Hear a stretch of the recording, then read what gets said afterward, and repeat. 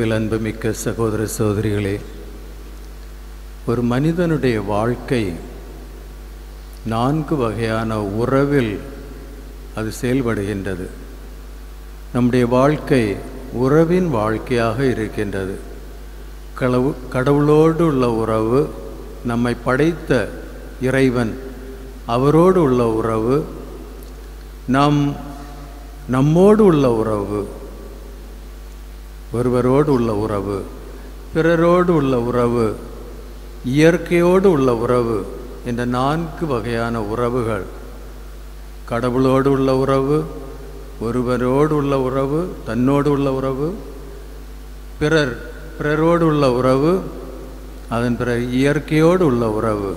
The four type of relationships அந்த உறவில் முரண்பாடு வரும்போது நாம் துன்பத்தில் ஆழ்கின்றோம் துயரத்தில் ஆழ்கின்றோம் நம்மால் மகிழ்ச்சியாக இருக்க முடியாது. நம்முடைய வாழ்க்கையின் குறிக்கோளை இழந்து விடுகின்றோம். எனவே இந்த உறவுகளை செம்மைப்படுத்த இந்த நாற்பது நாட்கள் நமக்கு கொடுக்கப்படுகின்றது. அதனால்தான் இன்றைய நற்செய்தி வழியாகவும் இன்றைய வாசகங்கள் வழியாகவும் நமக்கு சொல்லப்படுகின்றது.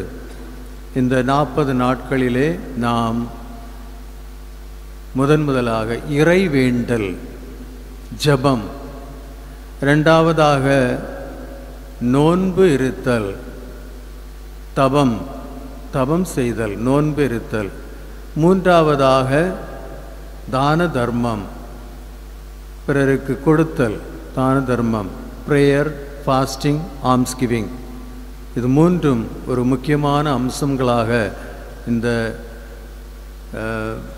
தபசு காலத்தில் நமக்கு கொடுக்கப்படுகின்றது இந்த தவ காலத்தில். முதல் இறைவேண்டல் இறைவனோடு நம் அந்த உறவை ஒன்றிப்பது.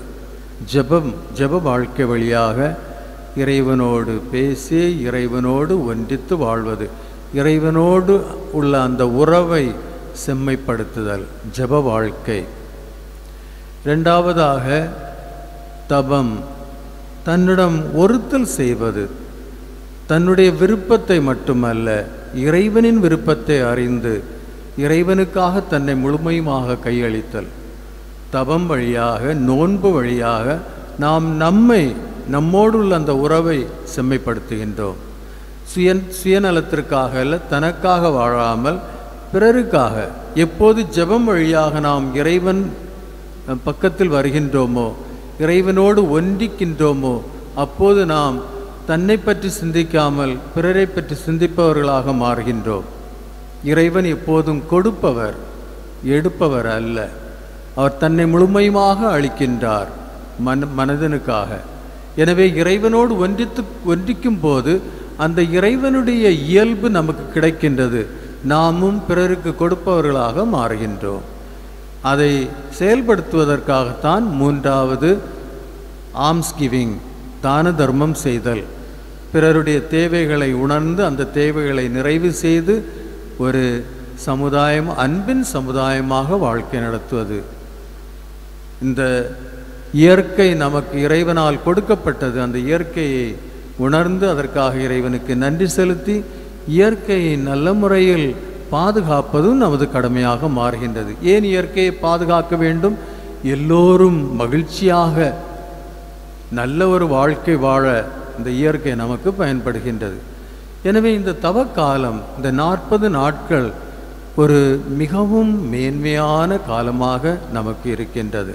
இதைத்தான் வசந்த காலம் என்று சொல்கின்றோம். வசந்த காலம் குளிர்காலம் தீர்ந்து வசந்த காலம் தொடங்குவதென்றால் குளிர்காலத்தில் எல்லா மரங்களும் இலைகள் உதறி உதிர்கி உ- உதிர்ந்து விடுகின்றன. ஆனால் வசந்த காலத்தில் புதிய கிளைகள் வருகின்றன. அண்ட் அந்த ஃப்ரெஷ் ஃப்ரெஷ்னஸ் எல்லாம் நல்ல அழகாக இருக்கும். இந்த இயற்கை அழகாக மாறுகின்றது. அந்த இயற்கை எவ்வளவு அழகாக மாறுகின்றதோ நல்ல தளிர்கள் வருகின்றன மரங்களில். எல்லாம் நல்ல முறையில் சுத்தம் செய்து அழகாக தென்படுகின்றது எல்லாம் பச்சையாக இருக்கின்றது. நல்ல ஒரு அழகான காலம் ரொம்ப குளிரும் இல்லாமல் ரொம்ப சூடும் இல்லாமல் ஒரு நல்ல வசந்த காலம். அதே போல்தான் திரு அவையிலும் இந்த தவக்காலம் ஒரு வசந்த காலமாக இருக்கின்றது. இந்த நாற்பது நாட்கள் விவிலியத்தில் நமக்கு சொல்லப்படுகின்ற நாட்கள் நாற்பது நாட்கள். நோவாவின் போது அவருடைய சமயத்தில் மக்கள் பாவம் செய்து அந்த உறவிலிருந்து முரண்பட்டு பிரிந்து போகிறார்கள். கடவுளிடமிருந்து பிரிந்து போகிறார்கள். அப்போது நாற்பது நாட்கள் மழை பெய்தது இரவும் பகலும். அவர்களை தண்டிக்க நாற்பது நாட்கள். அதன் பிறகு தேர்ந்தெடுக்கப்பட்ட மக்கள் இஸ்ராயல் ஜாதியினர் அவர்கள் நாற்பது நாட்கள் அந்த பாலைவனத்தில் பயணம் செய்துதான் வாக்களிக்கப்பட்ட அந்த நாட்டுக்கு வந்தடைகின்றார்கள். எனவே இந்த நாற்பது நாட்கள் அவர்கள் நாற்பது வருடங்கள் அவர்கள் அந்த பாலைவனத்தில் அவர்கள் பயணம் செய்து அந்த வாக்களிக்கப்பட்ட நாட்டில் வந்து சேருகின்றார்கள். இன்னும் பல தீர்க்கதரிசிகள் இறைவாக்கினர்களுடைய வாழ்க்கையிலே நாம் அதை காண்கின்றோம். எலியா எலியாவுடைய வாழ்க்கையில் நாற்பது நாட்கள் அவர் அங்கே தங்கி ஜெபிக்கின்றார். அவருக்கு உணவு அளிக்கப்படுகின்றது. அவர் நாற்பது நாட்கள் தன்னை தயார் செய்து மலை மேல் ஏறுகின்றார். இறைவனின் மகிமையை வெளிப்படுத்த. இறையேசு கூட தன்னுடைய தன்னுடைய பணி வாழ்க்கையை தொடங்குவதற்கு முன் நாற்பது நாட்கள் நோன்பு இருக்கின்றார். அதையெல்லாம் பார்த்துதான் திரு அவை நமக்கு இந்த நாற்பது நாட்களை கொடுத்திருக்கின்றது. இந்த நாற்பது நாட்களில் நாம் நிறைய அறச் செயல்களை செய்ய நாம் முன்வருகின்றோம். ஆனால் இந்த தவக்காலத்தை பற்றி மக்களுடைய மனதிலே ஒரு பெரிய முரண்பாடான ஒரு எண்ணம் இருந்து வருகின்றது. நேற்றைய தினம் நான் கேட்டிருக்கின்றேன் ஓ நாளைக்கு திருநூற்று புதன் நாளைக்கு தவக்காலம் தொடங்குகின்றது. எனவே இன்னு இன்று நாம் நிறைய இறைச்சி இதெல்லாம் சாப்பிடுவோம். அப்படிப்பட்டவர். நாற்பது நாள் சாப்பிட முடியாது. எனவே இன்று கடைசியாக இன்னைக்கு சாப்பிடுவோம் அப்படின்ற ஒரு எண்ணம். நாற்பது நாள். அது சாப்பிட முடியாது இது சாப்பிட முடியாது. அந்த ஆடம்பரம் இருக்க முடியாது இந்த இது செய்ய முடியாது. நாற்பது நாட்கள் ஒரு பெரிய அப்படிப்பட்ட ஒரு பாரமான ஒரு துக்கமான துயரமான ஒருத்தல் செய்து ஒரு கடினமான ஒரு காலமாக நாம் எண்ணுகின்றோம். அது தவறு. அது தவறு. நாம் இந்த செயல்களை ஏற்றுக்கொள்கிறோம் இந்த அற செயல்களை ஏற்றுக்கொள்கிறோம் அது நமக்கு என்ன தருகின்றது? இறைவனோடு நம்மை ஒன்றிக்கின்றது. நம்மை தூய்மைப்படுத்துகின்றது.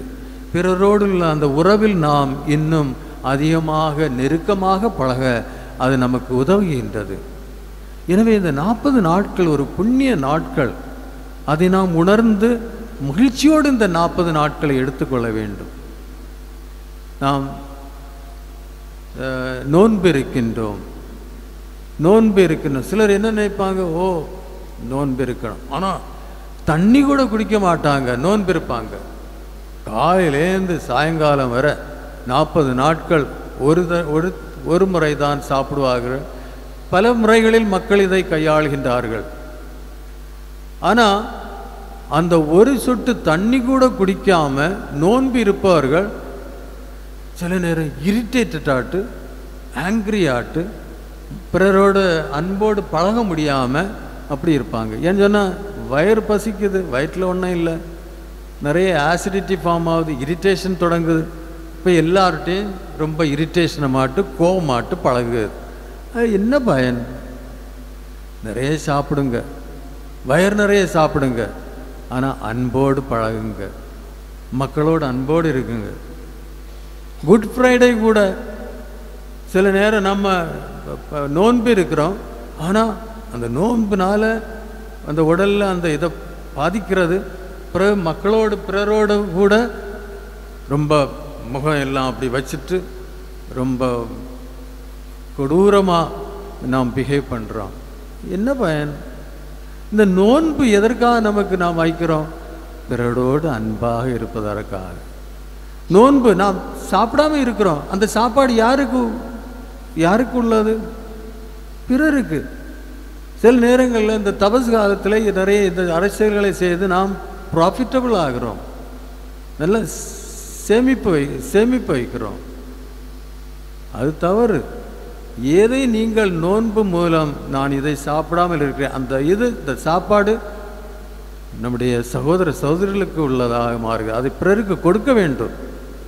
சேர்த்து வச்சு வச்சு சாப்பிடாம சேர்த்து வச்சு வச்சு நாற்பது நாள் நிறைய சேமிப்பு வந்துட்டு அது தவறு. அது பிறருக்கு அன்பினால் அதை பிறருக்கு பகிர்ந்து கொடுக்க வேண்டும். எனவே இந்த எவ்வளோ எவ்வளோ அழகாக இந்த வாசகங்களிலே நமக்கு ஒவ்வொரு திருநூற்று புதனுக்கும் இது சொல்லப்படுகிறது. மறைவாக இருக்கும் அந்த ஆண்டவர் உன்னுடைய செயல்களை மறைவாக செய்யுங்கள். பிறருக்கு வெளிப்படுத்தி பிறருக்கு காட்டி நான் நோன்பு இருக்கிறேன். சாப்பிடவே இல்லை. ஒரு சொட்டு தண்ணி கூட குடிக்கல. நான் நோன்பு இருக்கிறேன். ஒரு பயணம் இல்லை. ஒரு பயணம் இல்லை. நீ சாப்பிடுறதையோ சாப்பிடாம இருக்கிறியோ இந்த நாட்களில் ஜெபம் செய்து இறைவனிடம் தன்னுடைய பாவங்களுக்காக மன்னிப்பு கேட்டு ஒருவர் ஒருவரோடு அன்போடு பழகு. அவருடைய தேவைகளை உணர்ந்து அவருக்கு உதவி செய். அதுதான் பெரிய காரியம். இறைவன் அதை விரும்புகிறார். அன்பு ப இருக்க வேண்டும். அன்போடு. எனவே இந்த தவக்காலம் ஒரு ஒரு வசந்த காலம் நமக்கு. மகிழ்ச்சியான காலம். மகிழ்ச்சியாக இருக்க வேண்டும். சில சமயங்களில் இந்த தவசு காலத்தில் இந்த ஃப்ரைடேஸ் எல்லாம் ஃபாஸ்டிங் செய்ய சமயத்தில் யாரையும் பார்த்தா பயமாக இருக்கும். அப்படி இல்லை மகிழ்ச்சியாக இருங்க சந்தோஷமாக இருங்க. ஆனால் ஒருத்தல் செய்யணும். நம்ம இந்த தவசு காலத்தில் முதன் முதலாக கடவுளோடு ஒன்றித்திருக்க முயற்சி செய்யுங்க. நிறைய ஜெபம் செய்யுங்க. மற்ற நேரங்களிலும் நீங்கள் எப்பவும் திருப்பலிக்கு வாரதுக்கு முயற்சி செய்யுங்க. நான் இந்த தபசு காலத்தில் ஒவ்வொரு நாளும் திருப்பலி காண முயற்சி செய்வேன். அந்த திருப்பலியில் பங்கெடுங்க. அந்த இறைவனோடு ஒன்றித்து வாழுங்க.